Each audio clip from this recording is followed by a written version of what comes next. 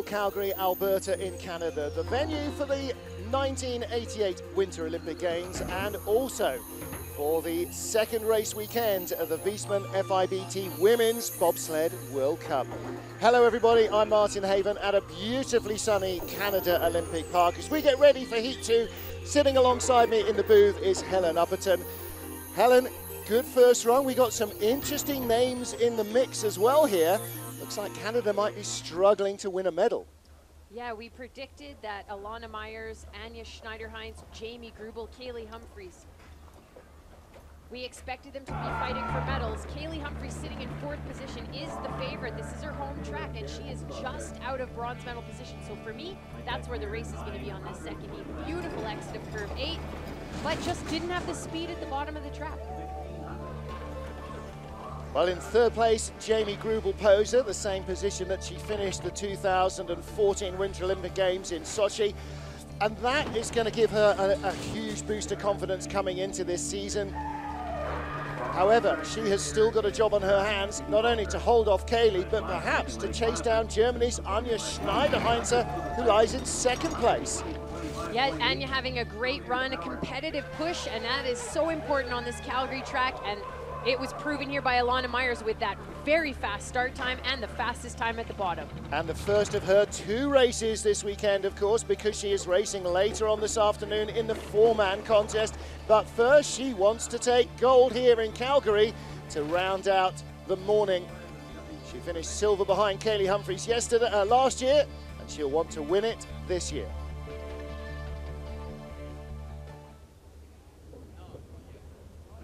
Well, it is a beautiful sunny day here at Winsport Canada. Elana Meyers-Taylor leading the heat by nearly a quarter of a second. She gets ready to defend that in heat two.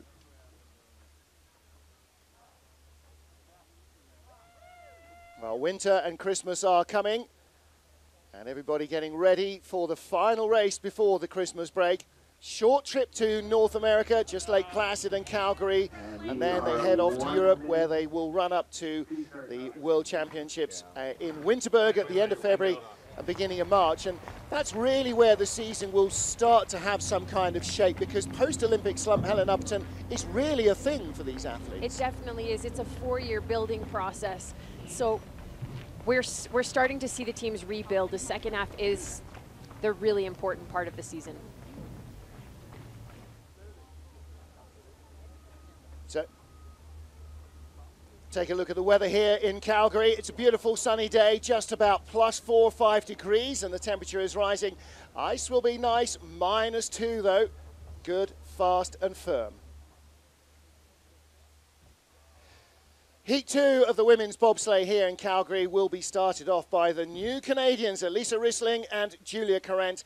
The 11 sleds going in reverse order of their first round performance. And that means, as ever, the first heat leader will be defending that advantage into heat two, Elana Meyers-Taylor. Second heat of the Viessmann Women's Bobsled World Cup race here in Canada. And it is Alysia Rissling and Julia Corrente for the home nation that are first on the ice. 11th after heat one, and understandably perhaps a little bit nervy on their World Cup debut.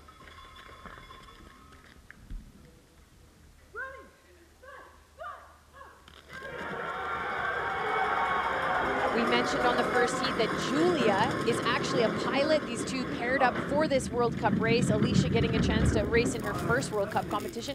She had a decent top half of the track, but struggled in the bottom, especially in the Kreisel corner nine. It's such an important part of the track. We'll see if this second run she can piece it together and be a little bit cleaner. Fifth fastest start time in heat one, and that shows that they've got great starting potential. You see in some of the corners the sun shades are down, and in fact, you see again in some of the corners the sun is on the ice, and the shades are to prevent the surface of the ice from melting because then it becomes like glue.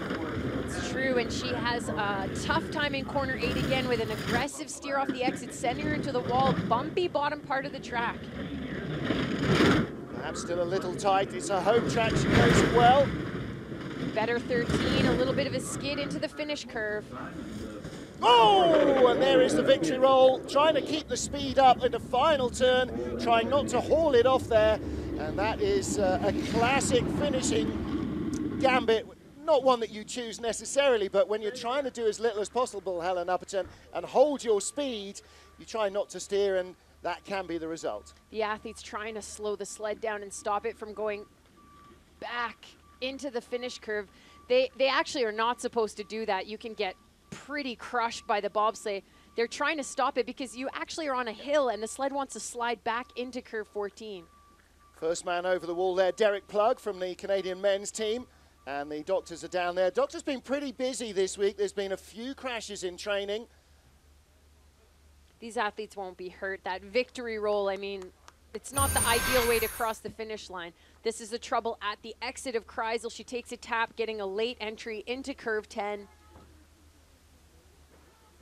Not a bad line out of curve 13. Little bit of a tap as she heads into curve 14, and this is where the crash happens. And these athletes have been sliding for the last two days with the shades open at the exit so they can see farther around the curve. That could have been part of the reason why she crashed. Fraction disorientated. The run itself, though, two tenths quicker than her previous, so she was really trying to let it fly down at the bottom of the track. Yeah, Stefan Bosch, who uh, looks after these Eurotech sleds and their contents. You can just see too high at the exit, run out of corner, you just run out of real estate, and over she goes. Well, you see the athletes trying to hold themselves inside the sled. Still doing close to 80 miles an hour. They're in the finish corner, but they both seem to be A-OK. That's one of the deals in bobsled, you know, like in car racing, eventually you're going to crash it. Crashing is part of the sport. These guys are tough athletes, big, strong, and tough. Yes, they are. Well, everybody thinks you've got to be some kind of crazy to do bobsled and skeleton, and they ain't wrong. And it's just, you know, that's like when the ice dancers fall over. Just, yeah, okay. There's a hell of a lot of skill goes into this, and uh, when it goes wrong, you see where the skill is required. So their first time live on TV in Canada, and they wreck it, but they're in the leader's box. The first sled down the ice. We are one minute to the start or continuation of heat So Lisa Rissling, Julia Corrente get out of the sled in the lead. Little bit of a hold just while they make sure there's no damage to the track, rescue the sled. Women's two-man, exactly identical sleds to the one the men use. Maximum weight with the crew is heavier for the men, because they tend to be more your 200 pound than your 120 pound athletes or 220 pound athletes, perhaps some of the men as well. So the all up weight includes the crew. And that's vital because Helen Upperton, the heavier the mass you're moving at the beginning, the quicker gravity accelerates. Gravity-based sport, they recruit big, tall, heavy athletes because the heavier the people, the lighter the bobsled. The minimum weight of a sled is 170 kilos. So you want the sled as light as possible, the people as heavy as possible to get as close to that max weight as you can. Well, you saw the sleigh rides here. Santa Claus is in town as well. Lots going on at COP.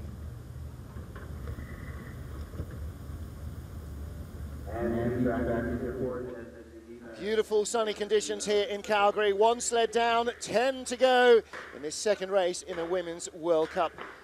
Nadia Sergeeva and Nadia Paleva, her brakewoman. New young crew from Russia.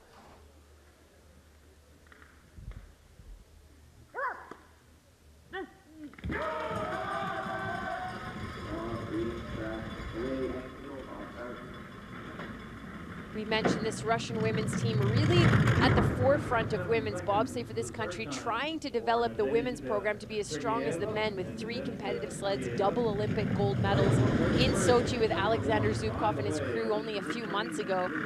But she's still young. She competed in Sochi. It was her first Olympic experience as a pilot. She is learning these tracks. Calgary is one of the tracks she has the most runs on. The Russian team spends a lot of time here. Maybe it's due to the coach, Pierre Lueders. and maybe it's due to the track as well. It gives them a great experience. This was the first place she ever drove a bobsleigh. This is where she had her first World Cup start as well. So this place is very close to her heart, she was telling me yesterday. She had a bit of a, a, wavy line through Kreisel, taking all three of those oscillations, not steering too much, but the less you drive, the faster you go. Good speed at the bottom, 125.6, 78 miles an hour. She has the lead over the Canadians in this second heat in Calgary.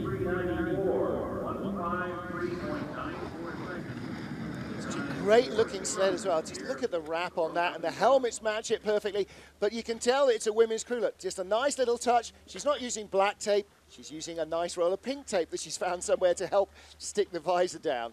Now, of course, like motorcycle helmets, all these visors do close, but you want to have belt and braces. You don't want it opening. This is going to be a bit of a rough transition here. The nose gets knocked away. You can see this rough exit. She hangs on too long, head bouncing off the cowling. It's going to be a sore neck tomorrow.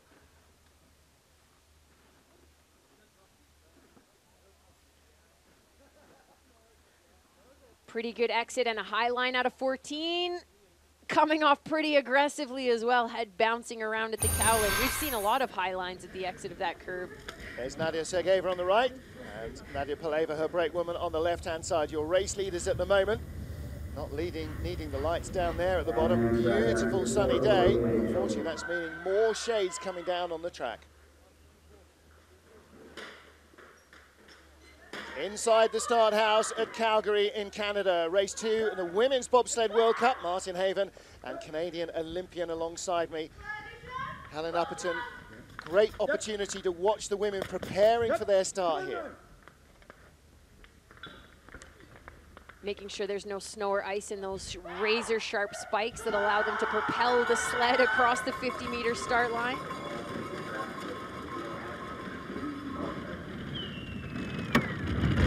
Vicky getting in a little late. Her arm didn't get under the cowling. She was trying to get the steering ropes, and as a result, she didn't flick the driver's handle in. Just avoided clipping the wall, though. Good exit out of one, so a good recovery with a bit of a late and uh, troublesome load into the sled and a high line out of four. The top few corners of the track is where you build all the speed. It's very important to have nice, smooth transitions. Driving a bobsleigh is like putting together a jigsaw puzzle. Slender advantage over the Russian. Sergeeva was 300s behind now, 1400s advantage for Vicky Olay. Bottom half of the first run was not good, so she's really gaining time here. This looks like a better run than her first heat, putting it together for run number two. Much better. Again, those shades down all the way through leaves you in a tunnel with almost no forward vision. Bear in mind, these girls are doing 78, 79 miles an hour. You need to be able to see around the corner to judge the exit, and they can't. So that's meaning it's a very different track, and a number of the corners the same, very different from even in the first heat when the shades were up and you could look through. Yeah, seeing where you're going is a big part of this sport, and as the shades drop, the visibility decreases. These drivers have to drive a lot by feel. And when you're in a corner, there's a lot of control in the sled. The, the pilot can, can put the sled within inches of where they want it to go when the sled is under pressure. In the straightaway, you cannot really steer. The sled will break into a skid. This so. is that high line there. She's flopping off the exit of the curve. Trying to get control of the sled and a much better run than her second, than her first heat earlier today. Victoria Lay from London and Alicia Kiddle behind her on the brakes. She's from Braintree in Essex. They are our leaders as the better of the two GB sleds after the first heat gets ready at the start. Misha McNeill from Newcastle and behind her again, Nikki McSweeney from Aylesbury and Buckinghamshire. Misha, a silver medalist in the Youth Olympic Games in Igls Austria in 2012. Ready? Ready? One, two, three. And a halfway house in the start, on the block but leaning really forward towards the handle, so she's half covering the distance almost before she starts. It's a very individual way of starting a sled. High line out of one, sliding into that wall. It's going to scrub off a lot of speed through this top portion of the track. And seat time as a pilot is so important. This this driver, Mica, she started so young, which means as she heads into her 20s, she's going to have years more experience than drivers. And so much of how you perform in the pilot seat of the sled is just run volume. Nine hundredths of a second behind Victoria Lay, her more experienced teammate She's a pretty slight athlete as well, so see her peeking up over the cowl of the bobsled. Aerodynamically, that's good. She is losing a ton of time. A big skid into the entry of Kreisel and a very late entrance. It makes those G-forces feel so much pressure. It's so much pressure for the brakeman. And it's Victoria Olay that leads as Misha McNeill slips behind by 1300s. GB1-2 here with seven to go.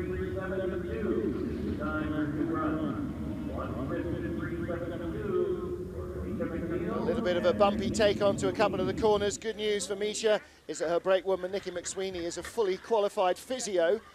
So she won't be able to heal herself, but she'll look after the driver. This is the mistake in the first curve of the track. She's way too high. Sled slides off the corner with no pressure, bumping that wall, and she's trying to regain control in the straightaway.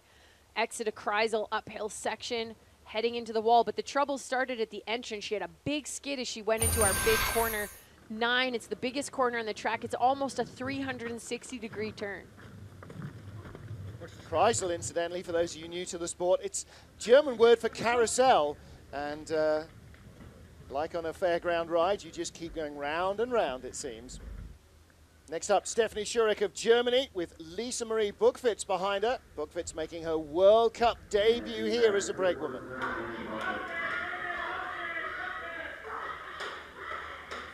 Germany on the top of the ice here in Calgary in Canada. Martin Haven, Helen Upperton watching the action trackside. Second race weekend of the Women's Bobsled World Cup.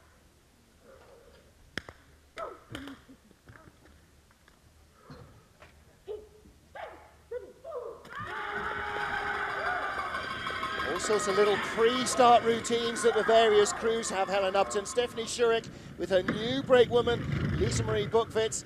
Good fast starting duo. You'd expect that from an athlete who was a former brakeman in the German program. This pilot's been around the sport for a long time. Nice exit of curve three, heading a little early into curve four though.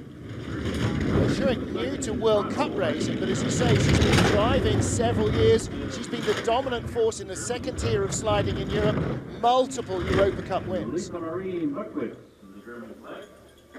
Trouble out of the exit eight, bumping right, then left. Regaining great control as she comes out of curve nine. This is the labyrinth section of the track. The athletes in the first heat, we saw a lot of them letting the sleds run, taking some high lines. She's got really nice control, good smooth driving in the bottom part of the track. There's Vicky Olay and Alicia Kiddle. They will leave the leader's box. Good run, extending her advantage by over a tenth of a second, Stephanie Szczurek. And that is aiming up into the top half dozen. Sixth position sled is only 500s in front. Fifth position sled, 900s in front. So it's not beyond the bounds of possibility. She might still be in the lead when we get down towards the medals. Yeah, that was a much better run than her first heat. The Germans really trying to rebuild. Shocking to not receive any medals. They were such a dominant nation in the sport of bobsleigh for so long, and they still are, but shocking to receive no medals at the Sochi Olympics. Yeah. This is that trouble out of corner eight, taking some bumps into the straightaway and a really high line out of 14, the finish curve as she crosses the finish line. and the coaches and the other athletes reaction, every bobsledder knows what it's like to nearly crash. Everybody, every bobsledder knows what it's like to actually crash, but it's that heart in the mouth moment. Always see the coaches willing the sleds across the line. Lots of congratulations. It's a very tight-knit family, ice sliding, bobsled and skeleton. You know, a lot of these athletes have known each other since they first started the sport. They've competed against each other, traveled, roomed. You know, it's a, it's a very small family and very close. Next up, Belgium, Elfje Willemsen and Annelies Holthof, sixth after the first heat, and third position is 16 hundredths away.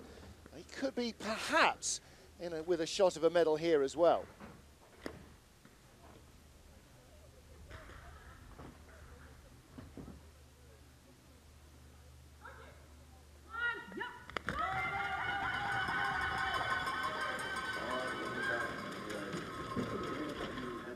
Very fast sled, good driving on the first run. If Elfje and this Belgium team had a good push, they would do some damage.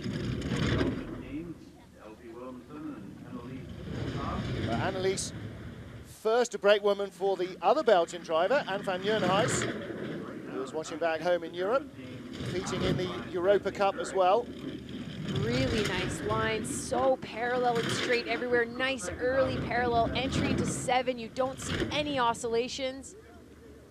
And a nice exit, drifting late into Kreisel.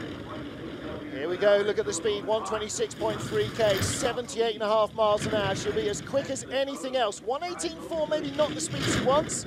But this is where she reels the sleds in. She's behind at the start, so fast at the bottom of the track.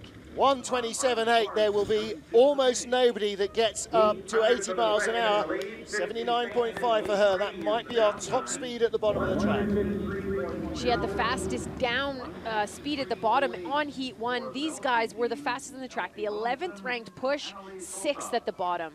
Now then, all sorts of nations have all sorts of criterion for qualifying for funding, for qualifying for world championships, for all of that stuff. I'm figuring a top six result was a very important thing.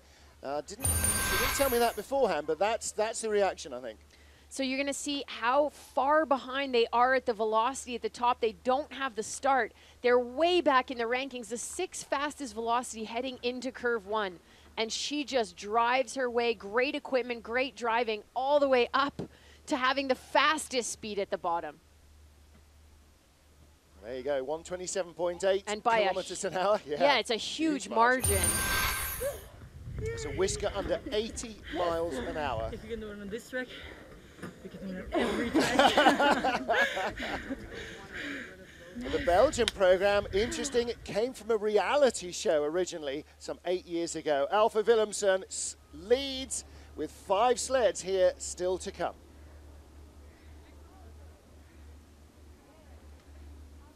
Don't forget if you're. Uh, so Elfje on the uh, right hand side, a great woman, Annelies on the left.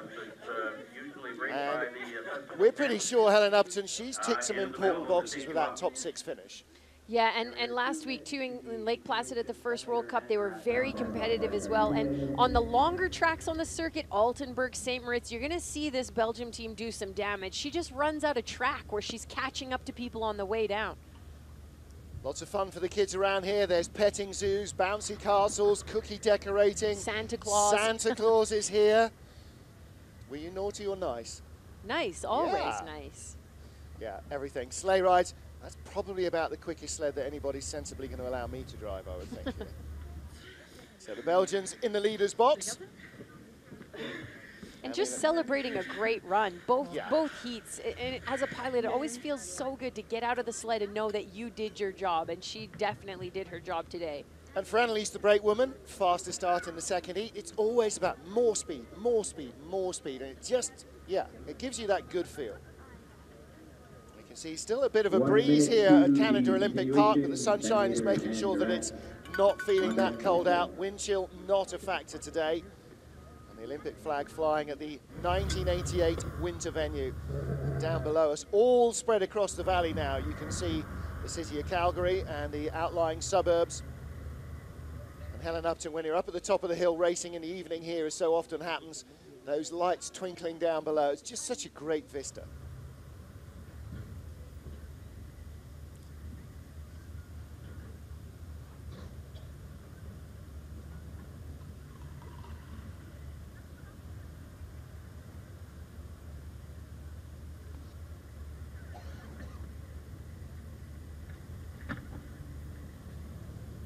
Beautiful day for sliding at Canada Olympic Park. We're in the 1988 Winter Olympic venue in Calgary, Alberta in Canada. The second race weekend of women's bobsleigh. And there on the right, Elfje Willemsen. On the left, Annelies Holthof, brake woman, our current leaders here with five sleds still to come. Last on the ice will be Elana Meyers-Taylor. And this is only the first of two races for her today. She will be in the four-man race this afternoon as well. That history will be made by Elana and by Kaillie Humphries. First, though, we've got the women's medals to decide. Jazmine Fenlator with her new brakewoman Natalie Durant, fifth after the first heat. Less than two tenths out of a medal spot. It's going to be a great chance for Jazz. They ran it deeper, giving them a faster push time by 400s. That's a big amount of time to take off between run one and two. You usually see the start time drop off a hundredth or two. So a great job by the pilot and brakeman to get fired up for the second heat. They're fighting for medals. Great escape velocity as well, which means lots of speed in the sled. Shades down on some of the corners, preventing the cameras showing you the action because the sun is in danger of melting the track surface. Good news for Jazmine. This weekend, her mum is back home. She had a couple of strokes and she was in the emergency room watching on TV last week. So great news and all the best wishes to her for the new year and for Christmas. Big trouble out of Kreisel with a very hard hit, abrupt at the exit. She also had a rough transition from six to seven as well, and that is one of the biggest speed killers on this track. Losing a bit of her advantage over the Belgians, letting it fly in the final corner. She stays in front. I think that might have dashed her hopes of a medal here. Nevertheless, she is happy with that. She will be beyond excited to get back home and to give her mum lots of Christmas loving. It's always good to come down the track and be in the leader's box.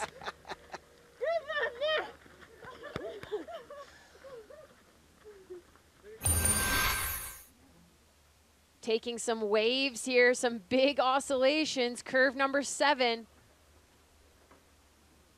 And eight is such an important corner in this track. You come out of this corner heading into a straightaway that goes for such a long time, and it is very challenging to keep the sled off of the walls. You want to see the runners pointing dead straight as they head into the Kreisel curve number nine. Rough, high exit out of 14 on two runners almost as she comes flying off that exit and across the finish line. There is Jazmine, our race leader at the moment. US women had a great weekend at home in Lake Placid. Looks like another medal haul is on the way. And I wonder what Olympic champion Kaillie Humphries can do about it. Like the American crews, the Canadians with new athletes on the back of the sleds, mixing it up. New athletes coming through on the front handles of the sleds as well, the drivers. But the Olympic champion with Kate O'Brien. Katie O'Brien was actually one of the alternates on the team. She's been in the program for quite some time, but never had a chance to really make a, a name for herself on the World Cup. And now she's doing it in two sports, track cycling and bobsleigh. So she has a really uh, busy, eventful winter ahead of her. Some athletes enough is never quite enough, is it? But it helps keep the, the speed up and all sorts of different training may well be helping her for the bobsleigh start as well. 2200s up at the start, still 2200s up. Kelly can use her local advantage from here on down. She should accelerate away from our current leader. And these are beautiful lines from Kaillie, just executing without a problem, a small brush on the wall. But these are the best lines we've seen so far in this second heat, no question. Racing in the four-man, is she thinking of other things? Is there too much going on this weekend? Kaillie's a competitor, and she wants a medal every time she sits in the sled. And she was very close to bronze. That's a good run, 56.30. Her first was a 56.35. And from that, you can pretty much tell that that's what that team has got.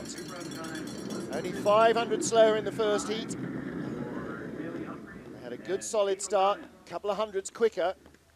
Yeah, great job from Kate O'Brien, giving Kaillie a few more hundreds to work with at the top. And in a race that's usually separated only by hundredths of a second, every little bit counts powering the sled there. Kate, you got to be powerful if you're going to be a track cyclist as well. And look at these two athletes. Kaillie's such a strong pusher as well, loading nice and early, making sure she's straight into that first curve.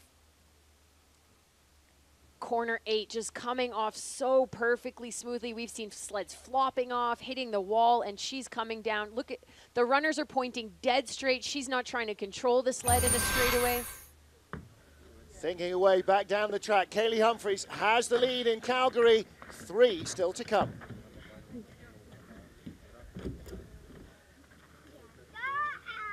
Plenty of great viewpoints around this track. Chance to come here as well and do bobsled and skeleton.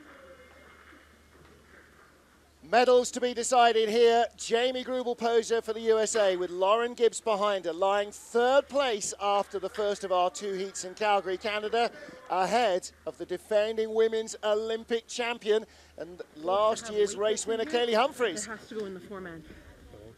Humphries now in the leader's box, but maybe not for long. She's got to get ready for the four-man race, which follows very shortly.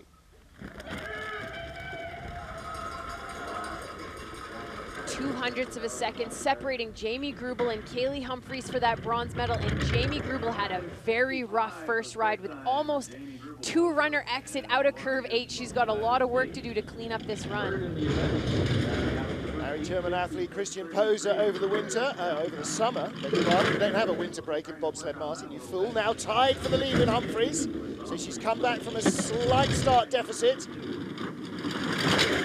And that is going to demolish her speed through this middle section. That was such a rough transition from 6-7. And she flops off the wall there as well. She's going to continue to bleed time on the way down the track. 6-7 is the tightest transition on this track in Calgary. And if you go into that corner, that, that section really late and really abruptly, it just scrubs off all of your velocity. Kaillie Humphries is in the medals then. She's two tenths back. She can't bring it back from there, no matter how late she gets on the final corner. Jamie Greubel Poser may well have slipped out of medal position.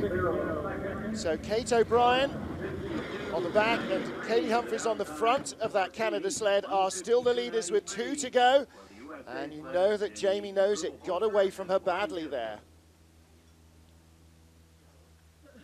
Yeah, except for going into Kreisel, the rest of it. Kaillie, always a perfectionist, discussing her runs, visualizing her runs. She has two more heats to do, making history, sliding in the four-man competition in such a short period of time. And Jamie Greubel taking some bumps as she heads into corner six. And look at this exit. She's hanging it off, going so late into curve seven and a high line out of eight again. Not quite as high as her first run, but this is where she loses all the time. And look at the way the athlete's head gets whipped backwards and forwards. G-forces in this sport are very intense. Campground of America sled lies second with two to go. So who's going to take the medals and who's going to fade? Anja Schneiderheinze and Franziska Bertels. A chance for the German sled to be in the medal positions here in Calgary. It would be a first medal of the season for Germany in the women's bobsleigh.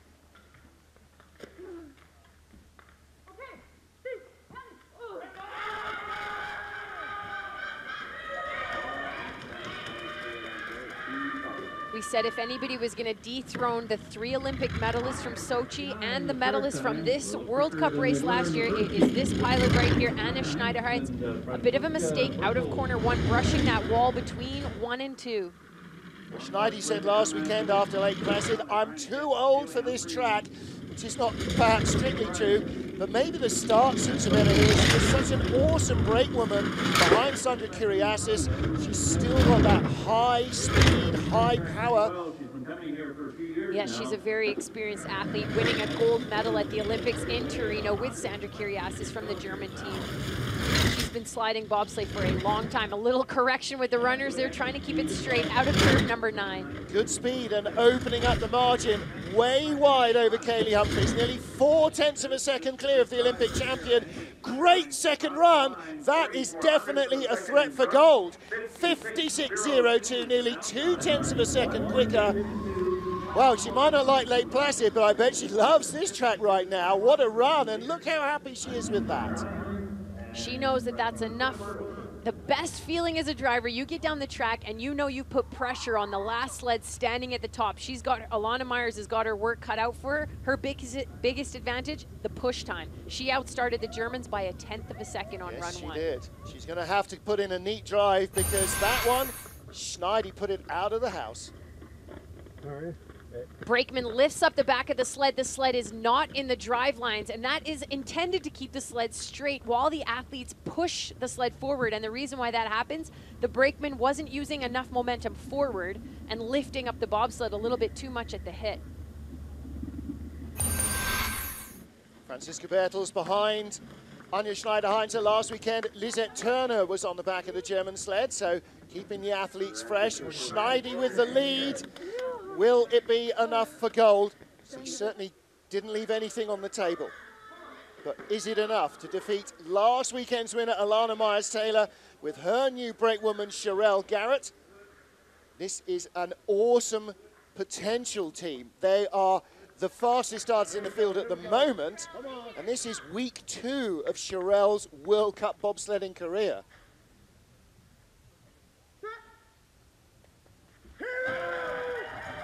We've seen lots of new brakemen, especially in the U.S. program. They have barely any returning athletes, a huge turnover after the Sochi Olympics, but doesn't seem to affect Elana Meyers too much with a 5.48 push time. Massive start. That's only a few hundredths off the track record here that was set by Kaillie Humphries and Heather Moyes. So impressed with the way that Cherrelle Garrett loads into the sled with no distraction to the driver or the line on the sled. Two weeks into her career, realistically, she's just doing a superb job. With a push like that, she has such a huge time advantage over the rest of the sleds. And a bit of a bumpy exit of curve eight. Onto the straightaway, she was sliding, but she still tucked her head down out of the airflow. A few inches for a few hundreds. It's a little loose. Gaps coming down. Hit the skid out of curve number. Ooh, super high. Yeah, big hit out of Kreisel, really high line in 12, but keeps it on all four runners. And still going to win by nearly half a second. What a slide, 55.80, 1600s quicker than her first heat, and enough to put Anja Schneiderheinze back into the silver medal position. Win number two of the season for Elana Meyers-Taylor and Cherrelle Garrett. And that was rocky and still fast. The point sometimes is that the, the pieces of the track that have to be really clean and good to have fast times need to be clean and good. But she didn't have as nice of a run as she did on the first heat. Cherrelle feeling the pressure of this Calgary track. One of the most intense for G-forces on the brake woman. It looks like she needs to take a seat and catch her Yeah. breath.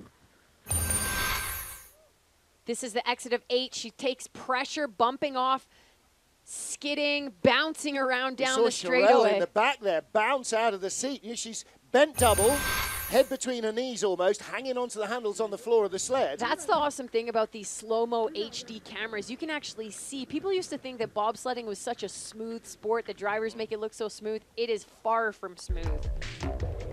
Well, Team Elana Meyers takes win number two of the season. These girls are solid gold in North America.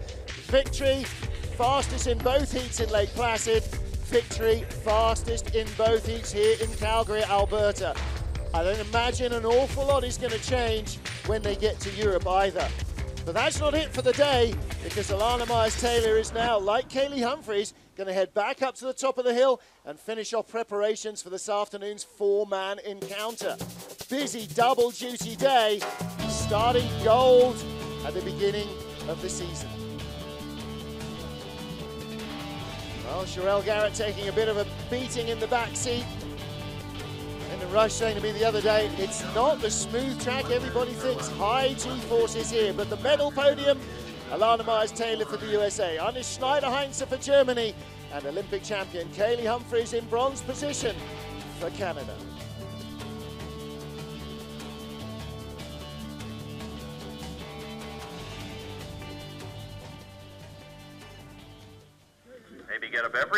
So, get something to eat. second win of the season for Elana Meyers, Taylor, and for ready Cherrelle Garrett. Uh, take in the four-man competition, which will be underway just after 2 o'clock. Cherrelle, as ever, just doing such a standout job at the top. And, you know, it looks pretty easy. You sprint downhill faster than you can actually run on sheet ice, and then you load into the sled without pulling on it to pull yourself in. You've got to try and carry momentum in, leaping into the sled, but somehow not rock it uh, on sheet ice. I mean. It's not easy by anybody's standards. Yeah, precision is such an important part of this sport. It's just such a great day for these women. Elana and Kaillie both on the podium, and for women's bobsleigh today is so historical. These two ladies at the forefront of where the sport could potentially go, competing against the men in such a short period of time. I'm so excited to see what's going to happen this afternoon. But one of the other little historical facts as well is that forerunning the four-man race will be Canada's Sarah Monk, who races four-man a lot and has raced four-man for many, many years. Except in her case, there are no guys in the sled. It is a four-woman crew. And that, perhaps, is the future for women's bobsledding, is to get women's four-seaters. Oh, the Germans have it right. Zweisitzer or Doppelsitzer, Viersitzer, two-seater, four-seater. That's perhaps the way that we're going to start referring to these sleds in the future because four women crews, that's when the playing field becomes so much more level for the athletes and that's when I think it's going to open up to a whole new generation. The Canadian women were some of the first women to compete on the World Cup circuit um, when women's bobsleigh first became uh, became a sport. Debuted at the Salt Lake City Olympics in 02, and it's really cool to see her forerunning in an all-four woman sled.